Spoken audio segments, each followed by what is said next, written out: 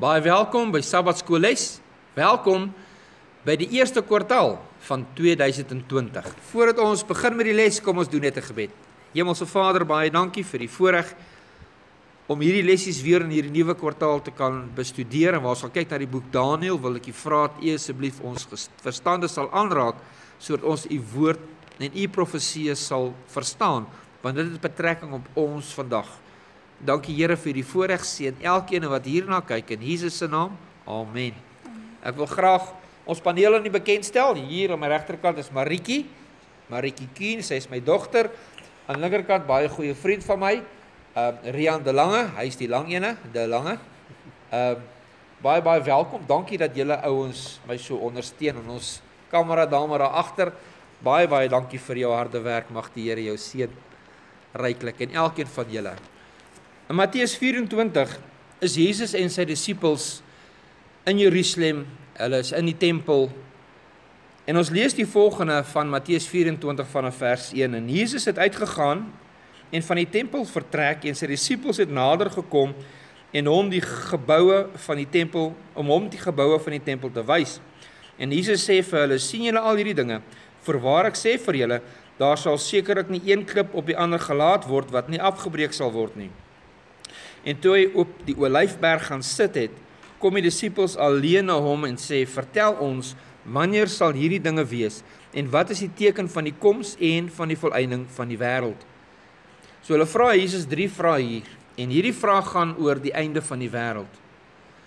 En dan begin Jesus met hulle te praat en die eerste ding wat hy sê is: "Pas op dat niemand julle mislei nie." En dan vertel hy hulle van die gebeure wat gaan gebeur in die wêreld En dan in hoofstuk 24 vers 15 noem Jesus iets spesifieks. En ek gaan dit vir ons lees. Jesus sê wanneer julle dan die gruwel van die verwoesting waarvan gespreek is deur die profeet Daniël sien staan in die heiligdom, laat hy wat lees oplet. Wanneer julle dan die gruwel van die verwoesting waarvan gespreek is deur die profeet Daniël sien staan in die heiligdom, laat hy wat lees oplet. So Jesus in sake van die eindtyd gebeure van hierdie wêreld, verwys sy disippels en ook vir ons na die boek Daniël toe. En dit is waarna ons gaan kyk hierdie kwartaal. My naam is David Keen en ek is vandag julle gasheer.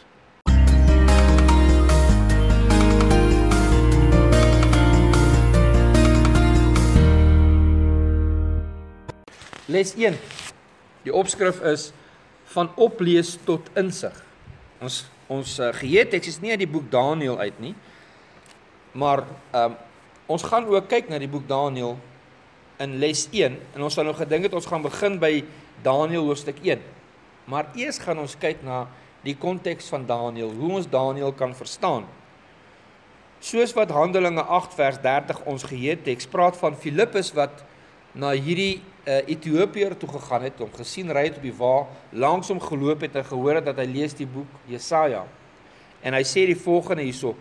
Ehm uh, dis nou ons geheue teks en Filippus het daarin gehardloop en hom die profeet Jesaja hoor lees. En hy sê: "Verstaan u wel wat u lees?" En dit is belangrik, né? Dat 'n mens verstaan wat 'n mens lees. En natuurlik Ethiopiër wat sê vir hom: "Hoe kan ek verstaan as iemand dit nie aan my verduidelik nie?" En dit is wat les 1 vir ons gaan doen in sake die boek Daniël. Dit gaan ons 'n paar soos in Engels sê guidelines gee of wenke gee. Hoe kan ons Daniël, die boek Daniël goed verstaan? Nee, in hierdie week gaan ons na 5 uh wenke wat die lesie vir ons gaan gee. Die eerste wenk is dat Christus die middelpunt van die boek Daniël is. Die boek Daniël gaan oor Christus. Maar nie net die boek Daniël nie, nê? Die hele Bybel gaan oor die boek Daniël. Oor Christus. Ag, oor Christus, ekskuus. Die hele boek Daniël, die hele Bybel gaan oor Christus. Ehm um, hy is die middelpunt ook van die hele Bybel. Dan tweedens vertoon die boek 'n bepaalde struktuur of vormelike elemente wat van letterkunde letterkundige skoonheid getuig en wat die behoud van die sentrale fokus verseker. Nou die manier hoe hulle in die ou tyd geskryf het is baie het baie digkuns ingehaal. Hulle het nie net 'n ding geskryf nie, dit was soos ons in dig is die vorm van dig AAB of ABA. Ons het dit mos geleer op skool. En dit is in hierdie formaat wat hierdie profesie ook geskryf is. En ons as dit in gedagte hou sodat dit goed wees, ons help om dit beter te verstaan. Derdens praat die lesie van dat daar 'n verskil tussen klassieke en apokaliptiese profeseë. Nou hierdie is nou die eerste keer wat ek gehoor het van klassieke profeseë. Ek het gehoor van van apokaliptiese profeseë, maar hierdie klassieke profeseë. En ons gaan bietjie daarna kyk en kyk hoe kan ons bepaal wat is die verskil tussen die twee as daar verskil is. Ehm um, vierdens ehm um, moet ons die tydperke wat in Daniël genoem word in ag neem. En Daniël praat van tydperke of tye. En dan praat hy van aandes en môres. En dit is waar ons gaan kyk na die jaar dag beginsel wanneer dit kom by profeseë. Die 5de wenk hierso gaan oor dat die boek Daniël is wel soos wat hulle sê 'n apokaliptiese wat beteken eindtyd gebeure boek maar is baie van toepassing op ons lewens nou en vandag. En enige tydperk van die geskiedenis van die Christen wêreld was die verhale en die gebeurtenisse en die profeseë nog altyd van toepassing op mense se lewens daar en dan. En dit is dan waarna ons gaan kyk hierdie week. Nou Maritjie. Sondag bring ons by Christus die middelpunt van die boek Daniël. Deel met ons. Reg. Sondag, um, ek wil net ook 'n uh, uh, net 'n klein stukkie net hierso sit vir die lesers. Uh, ek sien in die Afrikaanse boekie staan daar by die by waar hulle die vraag vir ons vra, staan daar lees 24 vers 25 tot 27. Daai moet wees ehm um, lees Lukas 24 vers 25 tot 27. OK. En dan wil ek net noem uh, vir ons kyk kykers wat nie lesboekies het of kan bekom nie. Ons los 'n skakel hier onder vir julle ehm um, waarop jy kan klik en daar gaan jy die lessies on, on uh, uh, op die op lyn, ek het nog sê online. Op lyn sal jy dit daarso ontvang. Dankie Maritjie. OK, so ons weet dat Jesus is ongetwyfeld die middelpunt van die skrif en ja. dit is ook duidelik in die boek Daniël. Ons kan dit sien reg van Daniël 1 af en ek gaan ons so vinnig deurvat van Daniël 1 tot by Daniël 12 hoe Jesus hier uitgebeeld word in die boek Daniël. In Daniël 1 is Daniël uit sy stad uitgeneem en hy's gevat na Babylon toe. En net so het Jesus van die hemel af neergekom aarde toe wat ook 'n tipe van 'n Babylon is. Um hoofstuk 2 is die beeld in die rots. Dit is die beeld gewees wat van goud en brons en silwer en die yster en voete van klein yster. En in daai beeld is daar mos 'n rots wat gekom het en op die voete geslaan het. En dit dui op Jesus wat gaan kom en sy koninkryk gaan vestig en dit dui ook op Jesus um, op God wat die mag het om konings aan te stel en konings af te stel. Amen.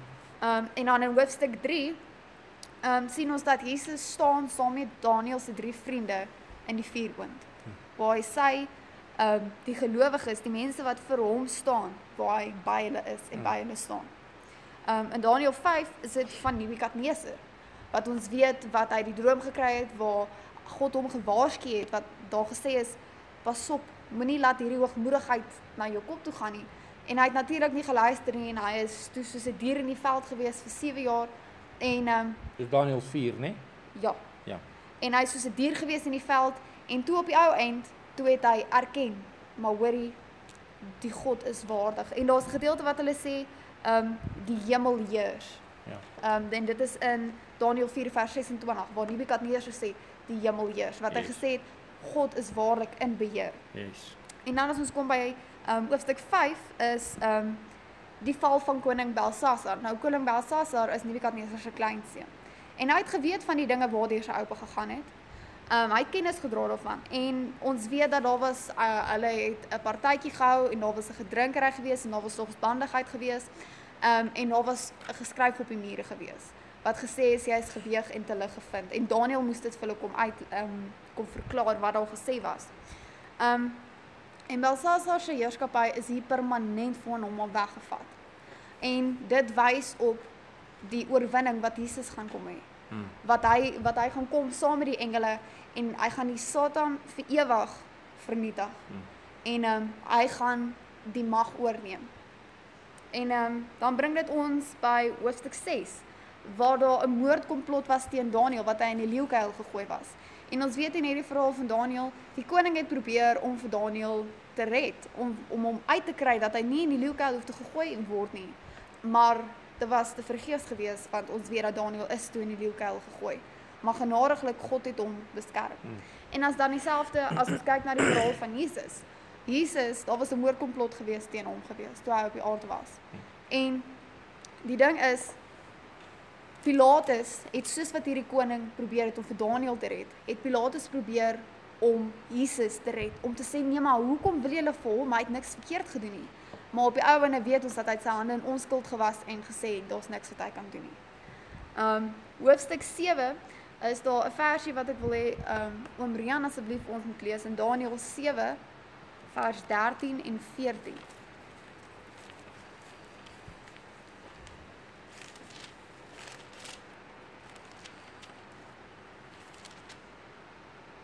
Daniël 7 vers 13 en 14. Ja. En ek het gesien in die naggesigte en kyk met die wolke van die hemel het een gekom soos die seun van 'n mens. En hy het gekom tot by die oue vandaan en hulle het hom nader gebring voor hom. En aan hom is gegee heerskappy en eer en koningskap. En al die volke en nasies en tale het hom vereer. Sy heerskappy is 'n ewige heerskappy wat nie sal vergaan nie en sy koninkryk een wat nie vernietig sal word nie. Hierso beeld dit Christus as die seun van die mensheid en waar hy sy koninkryk ontvang en koning is oor sy kinders. Uh hoofstuk 8 vers uh 8 vers 14. Daniël 8 vers 14 en hy het vir my gesê 2300 aande en môrens dan sal die heiligdom in sy regte staat herstel word. Um en daarso sien ons waar 'n hoofstuk afgaan oor Jesus wat vir ons intree as hoëpriester. Ja. Um ons weet die 2000 aande se môre toe dit verby is, dis Jesus wat ingegaan het in die allerheiligste Mm. en vir ons intree as hoëpriester. En dan hoofstuk 9 vers 25.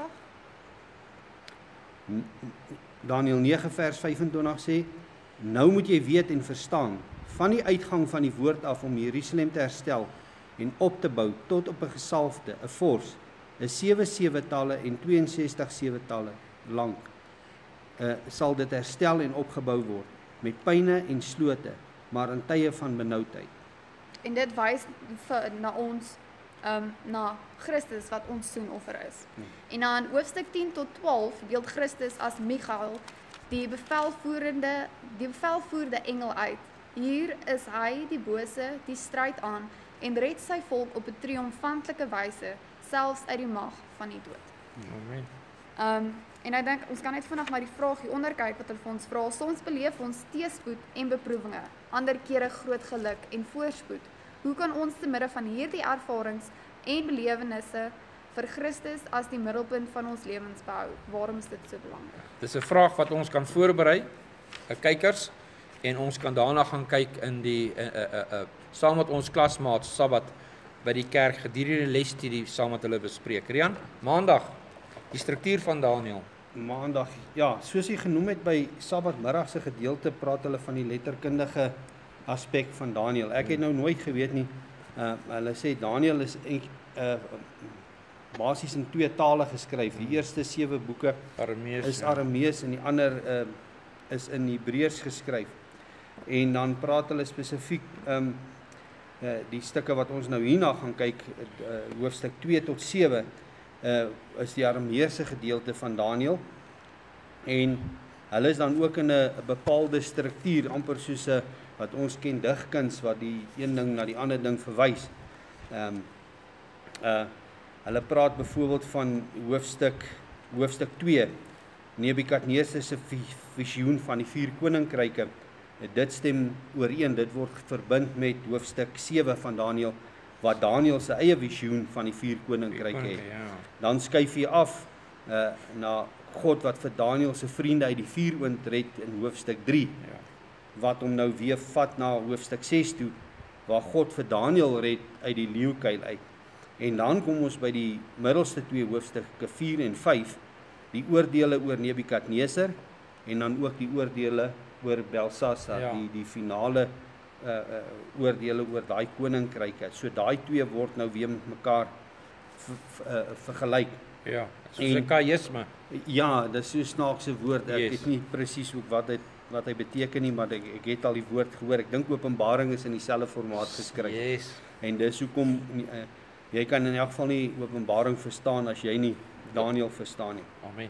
Uh en dan gaan ons so sê, hulle sê hierso die hierdie hierdie rangskikking van die plaas die hoofgedagtes in die middel van die teks. So die hoofgedagte kom neer op op op uh hoofstukke 4 en 5. Yes. Die oordeele oor Nebukadneser en die oordeele oor Belsasar. Yes.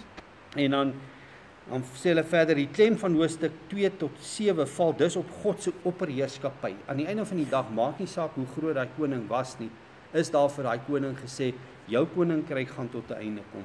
Na jou gaan 'n ander koninkryk opstaan. Na hom gaan 'n ander koninkryk opstaan. God het al hierdie goeders geweet. Hy hy het fisies 'n uh, 'n uh, 'n uh, uh, konings wat vir vir Babylon se op op op op opvolg by die naam geroep voordat daai koning nog eers gebore was Yes. en hy het laat omstandighede so werk dat daai koning se lewe gespaar is toe hy eintlik doodgemaak moes word uh, uh sodat hy kan kom ons praat van Kores Yes. en as die mense dit kan onthou.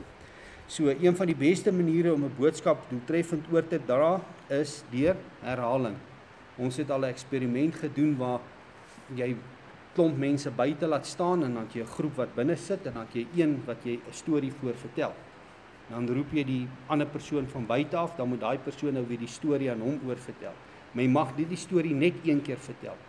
Teen die tyd laat die 4de, 5de persoon inkom, dan dink jy jy sit in 'n ander lokaal. Want hy die verander. Heeltemal verander. Ja. So die enigste manier wat jy dit kan doen is jy met 'n persoon oor en oor die storie te vertel sodat hy die regte boodskap kan kry. As jy dit een keer doen, verloor hy partykeer sy eie goed. En dis dieselfde wat ook hier gebeur. Ons het dit gesien met van Genesis af het God ook gesê hy het dit geskape.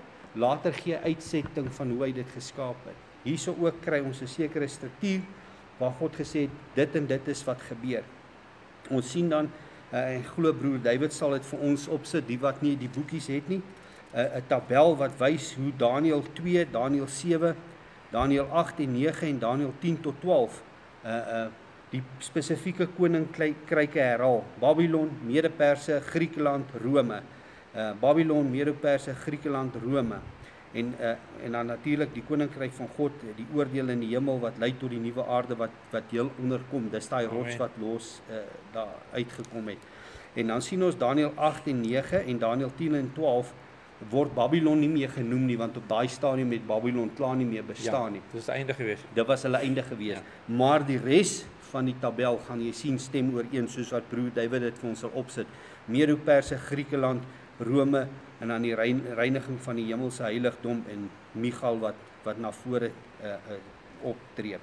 En dan uh, so dit is basies dis die die die die stru, die letkundige struktuur van Daniël sodat ons Daniël daar in daai opsig ook dan beter kan verstaan. Baie dankie. Rian, baie dankie. Die apokaliptiese profeseë in Daniël, Maritjie. Reg, so Daniël word ehm um, spesifiek as 'n ap- apokaliptiese profesie geklassifiseer. En ehm um, die meerderheid van die Ou Testament word nou weer as 'n klassieke profesie ehm um, gesien. Okay. So nou gaan ons kyk eers wat is die verskil tussen apokaliptiese en klassieke profesie. Want dit is belangrik vir mens om die verskil te kan verstaan om in diepte te weet wat eintlik daaraan gaan.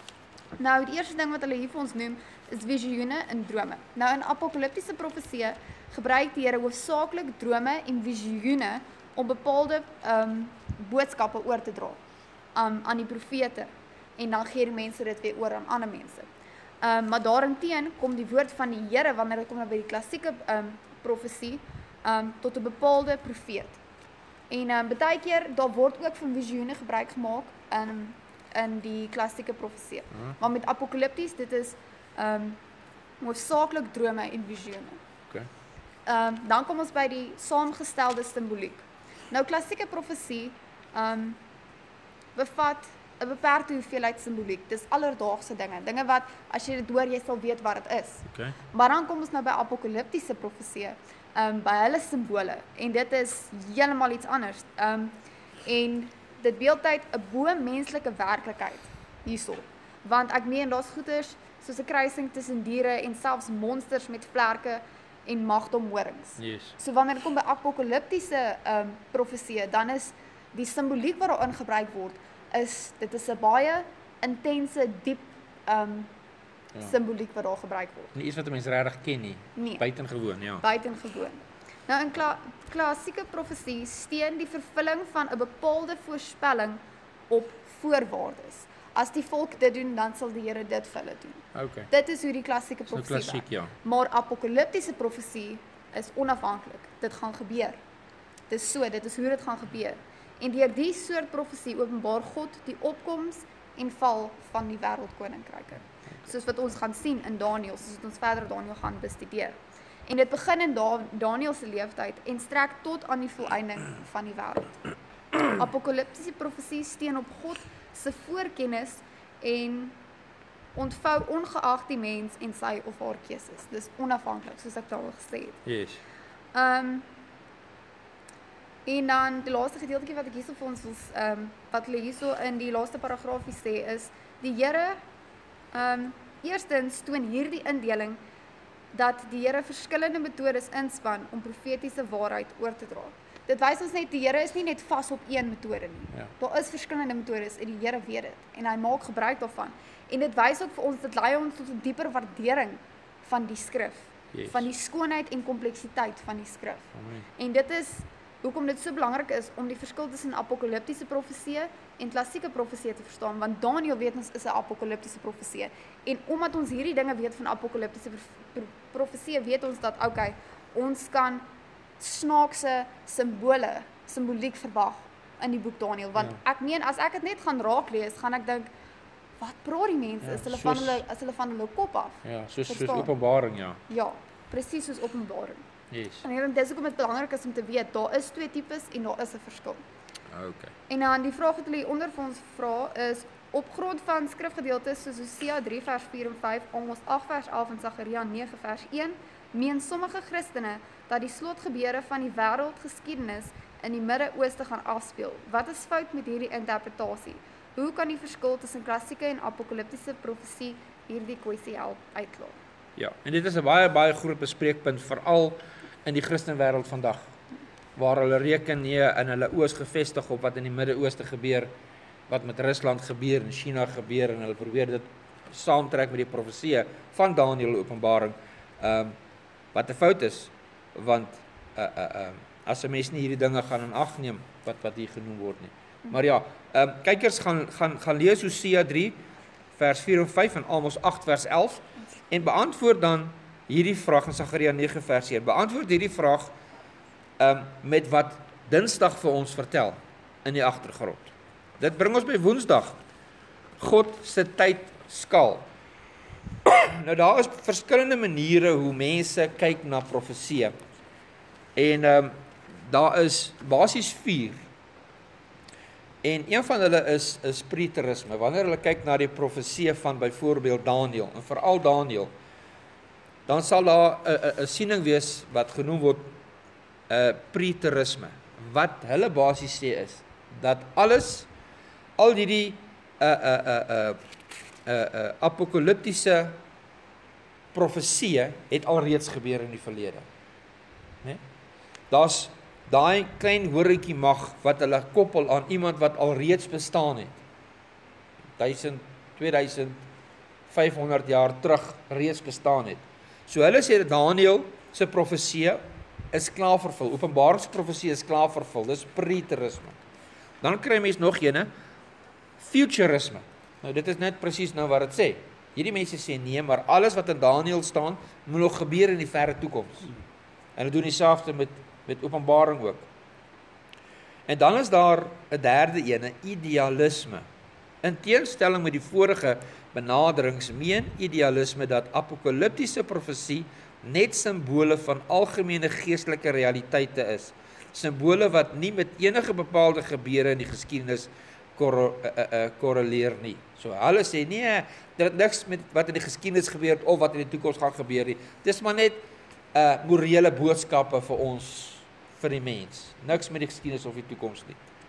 Dan is daar die vierde siening en dit is die his, his, die, die die siening van die historisisme. Die keersy van die vorige drie is historisisme. Dit sê dat God deur middel van apokaliptiese profeseë 'n onafgebroke geskiedenis aan die leser openbaar. Soos wat ons gesien het by 'n uh, maandag se gedeelte waar hy kolom wys, dit praat oor dieselfde geskiedenis van Daniël se tyd af tot aan die einde wanneer God sy koninkryk gaan kom vestig.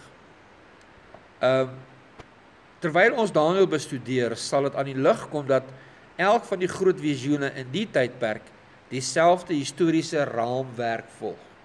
So Daniël 2 praat van 'n sekere tyd in die geskiedenis. Daniël 7 praat van daai selfde tyd.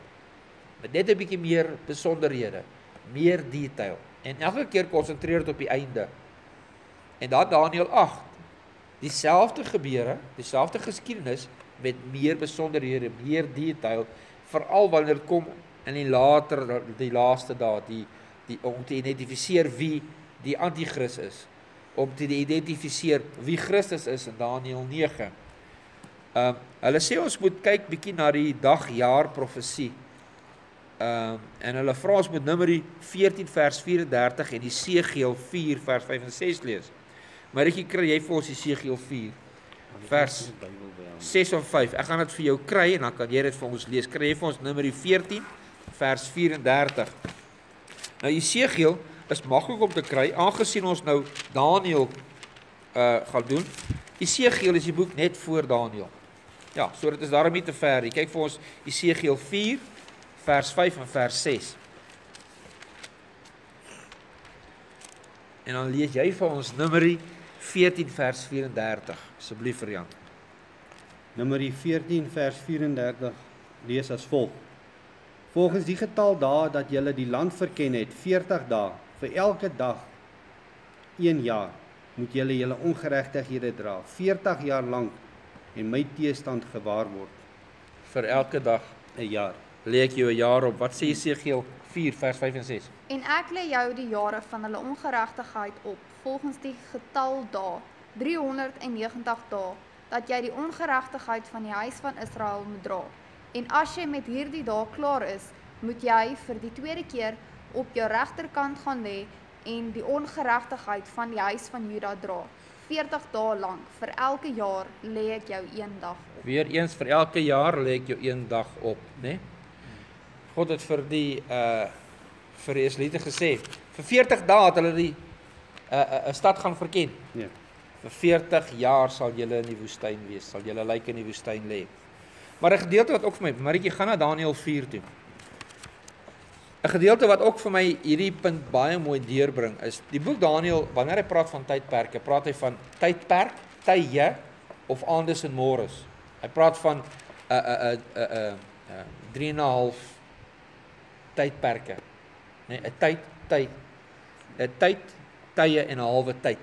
Hy gebruik die woord tyd om hierdie tydsprofeseë te of aandes en môres. Nou kom ons kyk gou-gou na Daniël 4 vers 16 en lees ons vir ons. Daniël 4 vers 16. Yes. Laat sy hart anders word as die van 'n mens en 'n dierehart aan hom gegee word en laat sewe tydperke oor hom heen gaan. So hier is ons die profesie dat daar gaan iets met koning Nebukadneser gebruik. Hy gaan mal word, hy gaan soos 'n dier word en hoe lank sê dit daar vir sewe wat tydperke. Nou ons weet vandag hoe lank was dit gewees? 7 jaar. So tydperk is 'n jaar.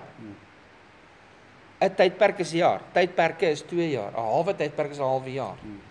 En so kan ons die Bybel gebruik om ons te wys hoe ons hierdie dinge in plek kan sit.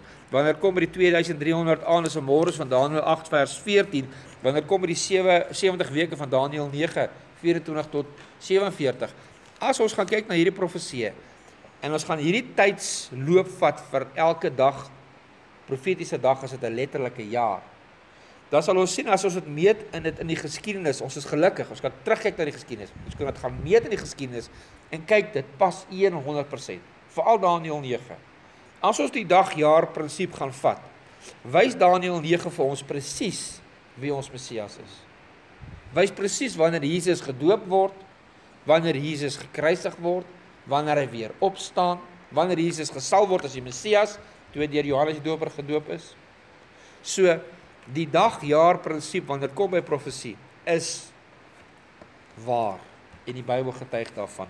En die Fariseërs het dit geweet. Hulle het dit geweet ja. Dis hoekom hulle daai vloek op daai Daniël ja. gesit het dat hulle mense nie kan uitwerk om te sien maar dit is die Messias wat ons gekruisig het. Dis reg ja. Hulle het 'n vloek en sê Ja. Vervloek is die een mag sy hande afval wat hierdie tydsprofesie probeer verwerk want dit gaan wys hulle het hulle eie Christus gekruisig. Hartseer, maar baie van hulle sal tot die waarheid kom. Die vraagie onder sommige van hierdie tydsprofesieë dek honderde en self duisende jare. Wat sê dit vir ons oor lankmoedigheid of geduld? Dit sê dat ek het nie geduld nie. Want ek wil hê die Here moet nou kom. As mens kyk na al die pyn en die lyding wat in hierdie wêreld aangaan, bid ek elke dag Here asseblief kom net en maak 'n einde al is ek nie reg nie. Kom maak dit 'n einde aan die pyn en die lyding van hierdie wêreld. Maar ons weet alles gebeur soos wat dit moet gebeur en ons moet geduld hê, nê. Kom ons beweeg dan nou na Donderdag toe. Ehm uh, hedendaagse relevantie van Daniël. Ja, ek hou nou nie van daai woord nie. Ek weet my oudste dogter is baie taalbewus. Sy Ja. sal nou 'n beroerte aanval kry oor die Relevantie. relevantie. Dit is 'n wat noem hulle dit? Anglisisme. Anglisisme. Ja, sy sal so ons kan eintlik vra, het Daniel nog betrekking op ons as hedendaagse mens of hoe kan Yes. ons is dit nog toepaslik vir ons? Want baie mense vandag sê ook, weet die Bybel is in daai tyd geskryf, is nie meer toepaslik vir ons nie. So is Daniel nog toepaslik op ons. Wel ons gaan kyk. Hulle sê Daniel is die boek Daniel is meer as 2500 jaar gelede geskryf en tog is dit uiters van toepassing op ons in die 21ste eeu. Uh, en ons gaan nou na drie redes kyk hoekom uh, Daniel steeds op ons betrekking het. Uh, ons kan uit Daniel uitlees en leer die gebeure wat daar plaasgevind het dat God behou die oppergesag in ons lewens. Selfs wanneer dinge skeefloop, is en bly God die koning van konings. Niks sal gebeur en sê hy hy klaar dinge in plek om sy mense te beskerm en in in in te tree vir hulle. Amen. Uh Daniël se wedervarings in Babylon is baie soos die van Josef in Egipte en Ester in Persië. En hierdie drie jong mense was gevangenes in die vreemde wat tussen uh vreemde mense die kneer die knie voor 'n oormag van heidense idees nie gebuig het nie. Op die oog af kon dit gelyk het of hulle magteloos was, asof die Here hulle in die steek gelaat het. Tog ontvang hulle krag van bo en word op ons kragtige wyse van die gods vir die godsplan ingespan. So God was betrokke by daai mense en ons sê altyd ons moet gaan kyk in die geskiedenis want as jy uit die geskiedenis kan jy jou eie toekoms weer bepaal want as jy nie weet waarvandaan jy kom nie, hoe gaan jy weet waar jy gaan? Ja. Dit wat in die verlede gewerk het, weet jy as dinge skeefloop dan pas ons weer dis toe. Ja. So ons leer uit die geskiedenis uit van hierdie mense dat God elke keer vir hulle daar was. Amen. Maar ons gaan daarby kom by die onderste vraag. Dan die tweede ding, God be- bepaal die verloop van die geskiedenis. Hulle sê soms ontstel en bekommer hierdie ou wêreld 'n mens, 'n wêreld wat oënskynlik doelloos rondslinger, een wat oorloop van sonde en geweld. En die boodskap wat ons in Daniël oorgedra word, is egter dat God steeds in beheer is. In elke liewe hoofstuk van die profetiese boek word die boodskap tuisgebring dat God inderdaad die verloop van die geskiedenis bepaal. Al lyk dit nie altyd vir ons so nie wanneer jy is in terugstaan beheer, ja. en jy kyk terug, dan sien jy die goddelike ingryping Amen. en hoe hy die dinge gesien.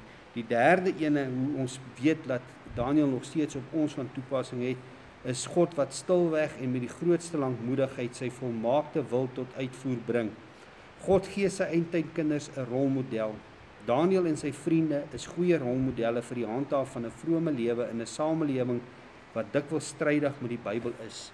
Te midde van druk om hulle geloof te kompromieer en om die soort toegewings te maak wat hulle toewyding aan die Here aan die bande sou lê, het Daniël hulle nie voor die Babiloniese stelsel gesoog nie, maar getrou aan die woord van God gebly.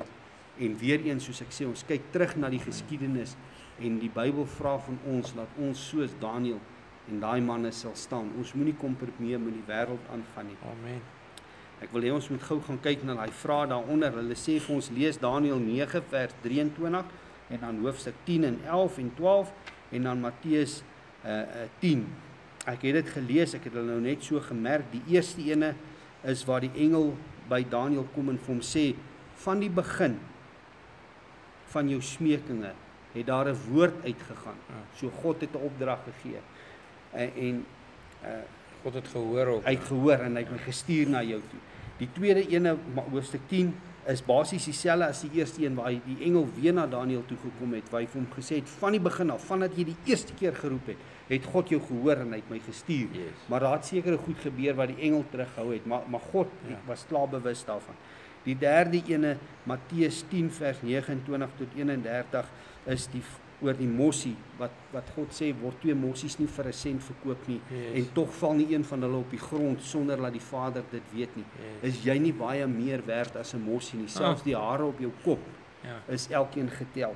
Mense as dit nie vir ons sê laat God elkeen van ons persoonlik persoonlik ken nie.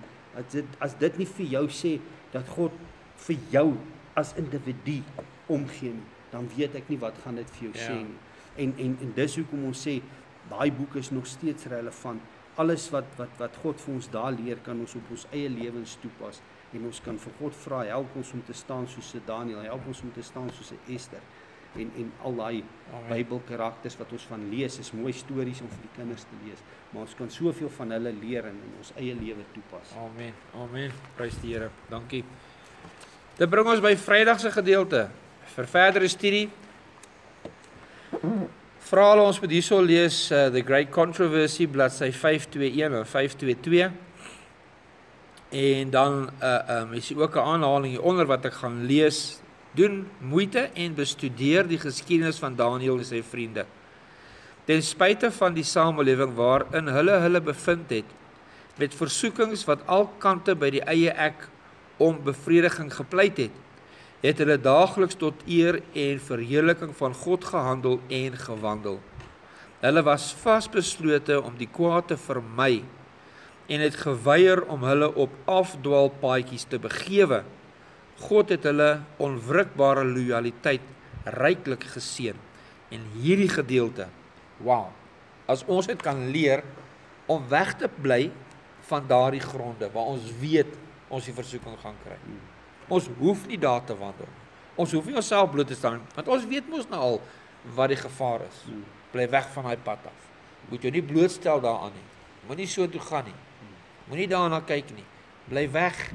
En hulle het besluit gemaak, dis dis baie waar, want in Daniël 1 sê dit dat Daniël het homself voorgedoen om hom nie te verontreinig met die koning se spys en drank. Hulle het van vooraf besluit gemaak.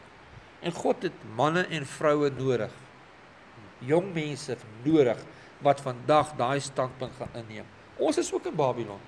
Ons is in 'n tipe Babylon en die Bybel noem dit ook in Openbaring Babylon dieselfde naam.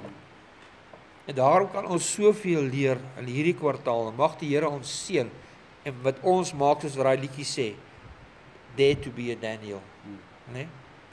Die vraag vir bespreking hieronder. Die eerste vraag is 'n baie lang vraag. Julle ouers by die huis, gaan hom deur en wees gereed om dit te bring jou antwoord na die klas toe en bespreek dit met die res van van julle klasmaats. Kom ons kyk na uh, vraag 2. Bespreek die volgende in die klas uh uh klasverband. Die verskil tussen klassieke en apokaliptiese profesie. Noem ander voorbeelde van hierdie twee soorte profeseë uit die Bybel. Nou dit is iets waarna ons nog net geraak het vandag. Die verskil tussen klassieke vir my is dit 'n nuwe ding. Ek het geweet daar's profeseë, maar nie geweet van daar's 'n klassieke en apokaliptiese profeseë nie. Nou klassieke profeseë was soos byvoorbeeld Jona gewees, né? Nee? Jona het 'n profesie gehad wat hy nou moes gaan bring het. En dit het afgehang, die uitkoms van daai profesie het afgehang van hoe hulle sou reageer op daardie profesie. En ons weet natuurlik Jona was ongelukkig geweest want hulle het gereageer en hulle het reg gereageer. En hy het dit geweet hulle gaan reageer. Ja. Apokalipties is Jesus gaan kom. Daar gaan 'n einde kom aan hierdie wêreld. Hy gaan sy koninkryk omstig. Of enigiemand wat ook al doen. Al verskil is, ons kan kies om deel daarvan te wees of nie. Wat gaan bespreek dit met julle klassies? Baie dankie dat julle saam met ons kom kyk het na die les. Ek wil julle vra asseblief dat julle vir ons sal bid in hierdie proses waar ons die Here se naam wil grootmaak en dit wil versprei ehm um, daar in die lig se golwe wat hulle die internet noem.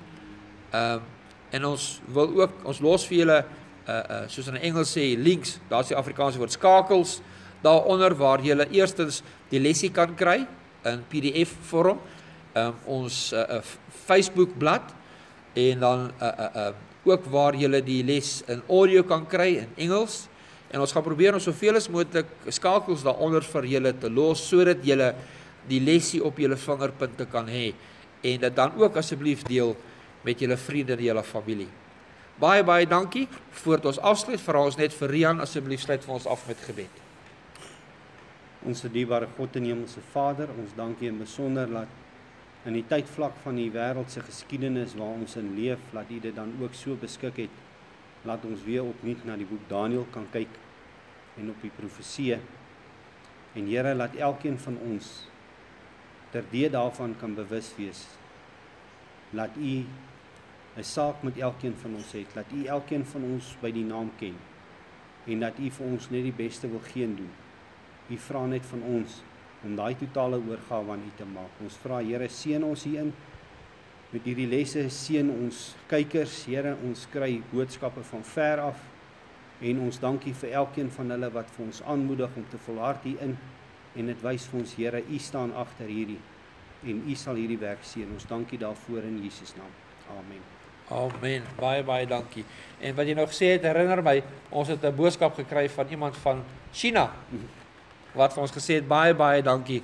Ons wil vir julle oralster waar julle is, julle aanmoedig, skryf vir ons, stuur vir ons 'n boodskap sodat ons kan weet ons broers en ons susters is saam met ons. Tot volgende week. God se ryke seën.